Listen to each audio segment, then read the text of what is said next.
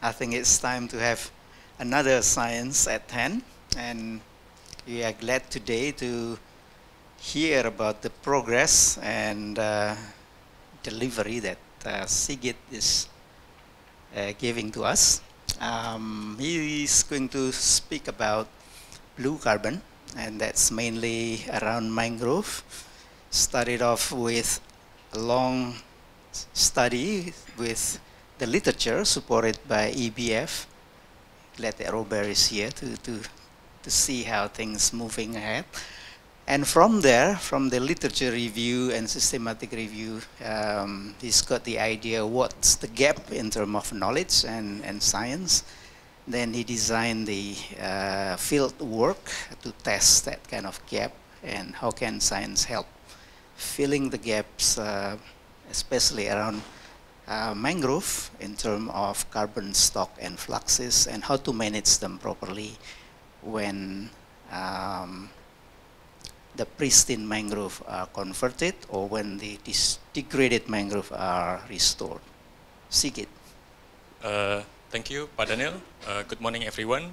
Uh, again, thank you, Pak Daniel, for believing in me to, to pushing this uh, kind of uh, unusual journey.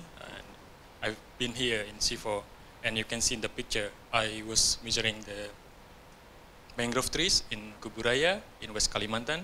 It was my one of my first time of uh, field work uh, under SWAMP here in CIFOR. And until now, I'm still doing this kind of similar things, uh, and now I uh, currently in the final years of my PhD in Charles Darwin University in Darwin, Australia. And today I want to present one of uh, my findings that uh, will be published soon in Global Change Biology. So starting with, with the blue carbon ecosystem, what is exactly blue carbon ecosystem? And why uh, and where is the location of the blue carbon ecosystem? So uh, blue carbon ecosystem is a new term that introduced uh, like uh, 10 years ago, and it's a term that defined uh, for the uh, carbon or organic carbon that's stored in the marine and, and coastal ecosystems, including mangroves, salt marsh, and also seagrass. And here, I just want to deep make a deep understanding on the uh, blue carbon ecosystem that's stored in the mangrove uh, forests, particularly at the global scales and also at the local scale in West Papua in Indonesia. And why uh, mangrove forests uh, are, are, one of the blue carbon ecosystem, one of the important blue carbon ecosystem, uh, because uh, we have the big picture of the mangrove blue carbon cycle here, especially in the mangrove ecosystem. Uh, the first path is here. Uh, as usual, uh, you can see all of the vegetation, including mangroves, are having a process that we call it photosynthesis. They're capturing carbon from the atmosphere into the vegetation biomass.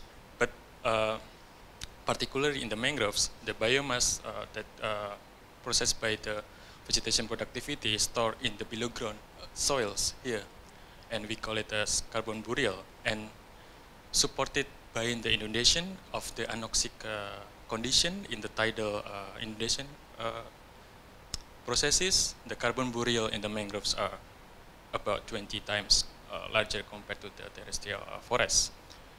And then mangroves are also special because uh, receiving the carbon input uh, from the other sources, what we call it uh, allochthonous inputs here. So the carbon sources that are coming from the upland due to the erosion and transported into the coastal area in the mangrove forest and also carbon that uh, coming from the marine uh, uh, sources.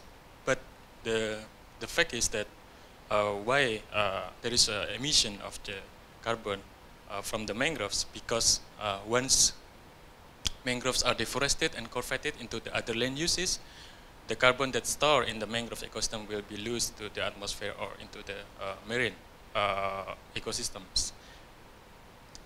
And today I want to uh, highlight a, bit, a, little bit on the uh, rates of the mangrove loss, uh, particularly in Southeast Asia, including Indonesia. And these figures uh, published in 2016 highlighting the dominant factors of the uh, mangrove loss drivers, uh, particularly from the aquaculture in the East Kalimantan, uh, Sulawesi, and rice field expansion in Myanmar and also oil palm expansion partly in Sumatra and also Peninsular Malaysia. So that's causing the uh, blue carbon emission uh, coming from the land use land cover change, particularly in the uh, mangrove ecosystem. And this is a, a classic methods, IPCC methods, how to quantify the potential emission of the carbon coming from the land use. we have the activity data here, that derived by the satellite uh, uh, analysis, uh, quantifying the rates of deforestation, how many hectare of the forest that already converted into other land uses uh, every year. And we have the also emission factor, like uh, the difference between the carbon stock uh, before and after conversion, and then multiply those factor as emission factor or potential emission coming from the land use land cover change. And today, I want to present you uh, my global uh, data review using systematic review on the assessing the emission factor uh, here.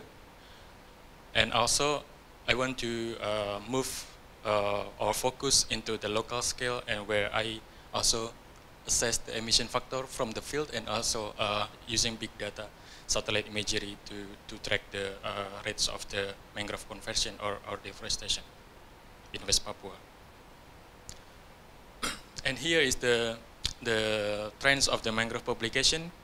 Uh, starting in 90s, uh, we have uh, in CIFOR, we, we, we proud that after the publication in 2011, that is part of the SWAMP product as well, and the number of the publication that assessing uh, mangrove and carbon is uh, increased uh, significantly. But all of those publications uh, assess the potential of the carbon stock, carbon storage, or blue carbon in the undisturbed uh, mangrove forest. And uh, because of these facts, I conducted systematic review looking at the difference between control undisturbed and also treatment converted mangroves forests. And here is uh, the, the journey of the systematic review. Uh, we got a grant from the EBF in 2016, uh, three years ago. And in the first year, we developed the, the protocol aims for uh, providing the guidelines for the study inclusion and also the data analysis. And then the second year and the third year, we conduct the literature search. And I can tell you that the red button is uh, uh, showing the the, the degree of my frustration because during my literature search was a very uh, low number of, uh, in terms of the papers that I can uh, use for the further data analysis. So, but finally, in the last December last year, uh, we have the final literature search, and now we have the results. And mainly, we we asked the question uh, here, for example, like uh, we want to see the, the size and distribution of the data uh, that uh, reporting the carbon stock and also the sediment fluxes or uh, fluxes. And then uh, the second question is uh, we want to see the relative change between undisturbed and also the converted mangroves. And then we want to see uh, whether there is an effect on the time since land use and also the uh, geographical location and also the climatic condition to the change of the uh, Uh, blue carbon. And then finally, uh, we, we know that uh, uh in the news uh, so many ceremony on, of the mangrove planting or restoration, but here I want to look at the how, how long do mangroves take to recover following the land use thing, particularly when they are restored. So here is the the result of the literature search, uh, screening and inclusion, uh, we repeated the literature search uh, three times uh, within three years uh, because, as I said, we have a limited data at the beginning to be included and we strict with the undisturbed control and also the land use affected treatment and that's why we exclude a lot of papers that because those papers just measure the carbon stock at the natural mangrove forest, not pair uh, between control and treatment. And finally, we just only get the 13.7 uh, papers that published uh, first in 98 and then the last uh, publication that we collected uh, was last year. And then we can see here the number of uh, publication is uh, increasing dramatically, particularly in the last three years. And the approach, data analysis, we use the, as I said in uh, previous slide, uh, we use the stock change approach that uh, introduced in IPCC 2016 guidelines. And we also uh, conducted the meta-analysis to see the change of the impact of the land use to soil carbon stock, fluxes, forest structure, and also the soil properties. And here is the data sets uh, distribution uh, that uh, we collected. Um, all of the data set is coming from the 37 papers. Uh, and all of the points is about 400 something uh, data sets or data points uh, scattered globally. And also we found that in this data set, we found that the land use types is like tree removal, aquaculture, pasture, rice field, and others such as uh, coconut plantation and also salt pan. And here is the result of the meta-analysis uh, uh, and the stock change. We have uh, above ground, below ground, uh, soil carbon and uh, fluxes. We found that once, I mean the, the overall land use effect, we found that the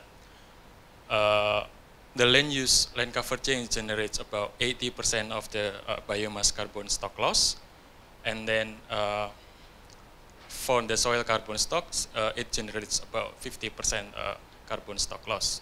And unfortunately, we, we did not find the, the, the effect of the uh, land use to the soil uh, carbon, uh, soil greenhouse gas emissions such as carbon dioxide and also methane.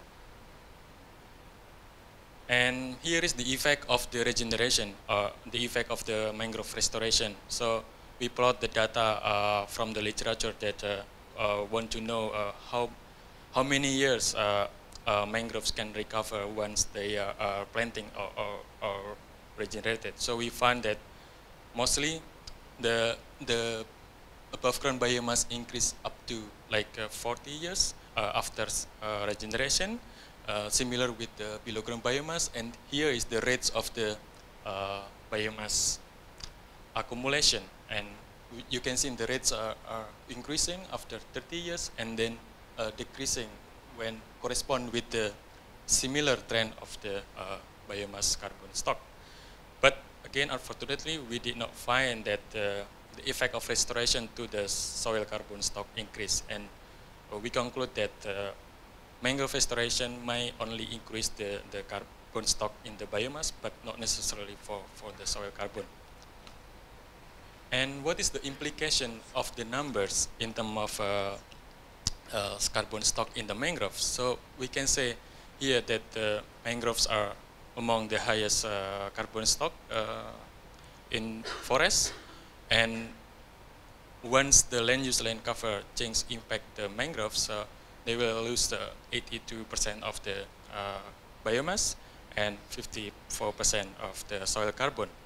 And it can be, uh, we can say that this loses, meaning that uh, uh, we can say that uh, losing one hectare of the mangrove, meaning that might be comparable with losing five hectare in the uh, terrestrial forest in terms of the carbon stock loss. That's our conclusion from the systematic review. And here, I want to, we have a parallel studies that looking at the local scale, particularly in West Papua. We have uh, five study sites, uh, Etna Bay, Kaimana, Arguni, Buruwai, and Bintuni. And uh, here, uh, the circle, the red circle is the, the undisturbed mangrove forest, and then the, the triangle uh, is the uh, disturbed mangrove forest, particularly in, in southern Bintuni, the mangrove forest is designated as the production forest, and, and the they have a logging uh, operation uh, in the last uh, 30 years. And in Kaimana, we have a small scale uh, aquaculture. So we went there and then assessed the carbon stocks and also greenhouse gas effluxes. And we want to also scale up uh, as the uh, spatial in uh, across the West Papua province and also the Papua province. what is the potential carbon stock and what is the potential carbon emission once they are loose. So we utilize the available uh, satellite data or, or, or, big data in the Google Earth Engine.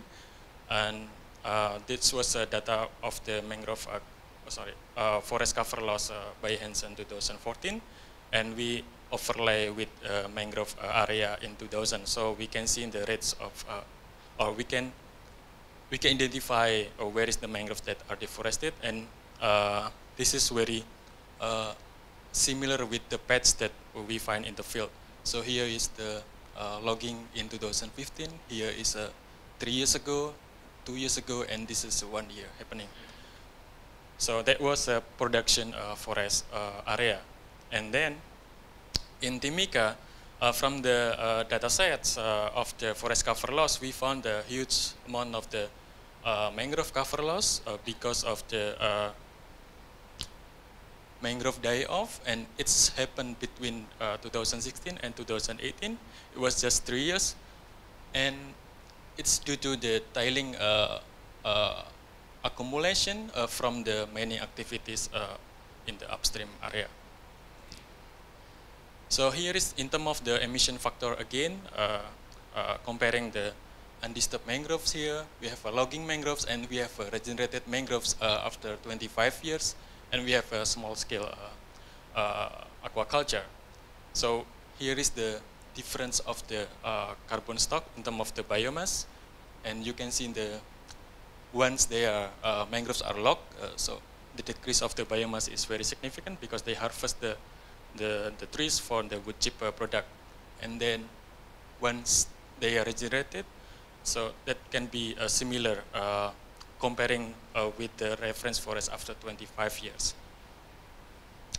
So combining with, with uh, activity data of the mangrove cover loss here, we have the data from 2000 and 2018 in terms of the rates of the uh, cover loss. Uh, it's about 800 hectare per year with a total about uh, nearly 15,000 hectare uh, in the last 18 years. And here is the, the emission and also the potential of the carbon stock uh, across the West Papua, and particularly the emission that coming from the mangrove cover loss are increased in the five, the last five years because of the increasing the uh, cover loss. And in summary, uh, we can say that the land use land cover change uh, generate significant uh, mangrove blue carbon loss, and it differs between land use types and also time since land use and also the climatic condition. And the biomass carbon pool may recover after uh, 40 years in terms of the regeneration. And from the field, we also can say that the Papuan mangroves has a significant blue carbon stocks.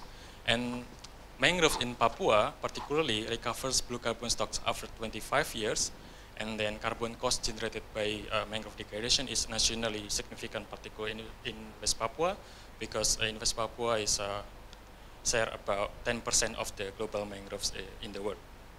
So I think that's all my uh, presentation today. Thank you uh, for the chance to be here, and thank you for, for the contributors, collaborators, and also donors who support me in the last four years. Thank you. Thank you, Sigit. Give